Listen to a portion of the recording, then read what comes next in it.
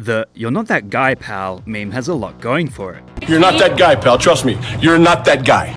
Conflict is one of the biggest drivers of storytelling, and the original video it's based on is chock full of it. In essence, this middle aged man is channeling the masculine version of a Karen. He's approached a younger guy and is absolutely flipping his lid because he was told not to talk to people he didn't know.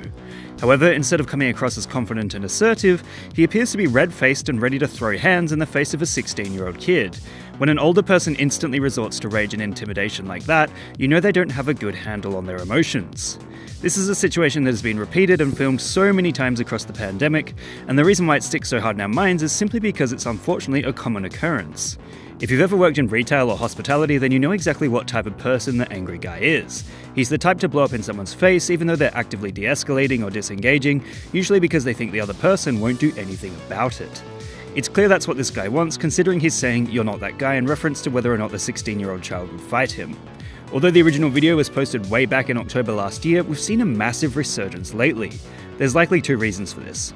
One, as people have gotten used to the pandemic and mask wearing, there seems to be a lull in interest surrounding the fights that accompany them, especially considering how in America it's become a weirdly tense political issue more than anywhere else.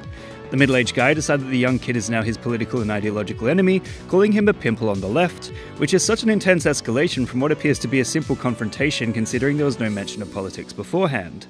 Secondly, a couple of well known YouTubers released videos criticizing the super tough guy in March and June, including Critikal and H3H3, who have both had a major influence on meme culture for better or for worse.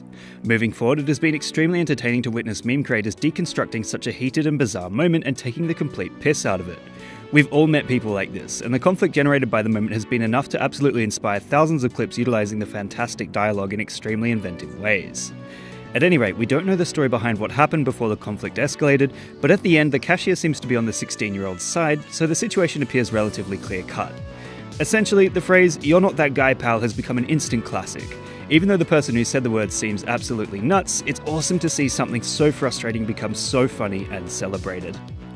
What meme would you guys like me to give a lesson in next? Let me know in the comments below. And remember, like and subscribe!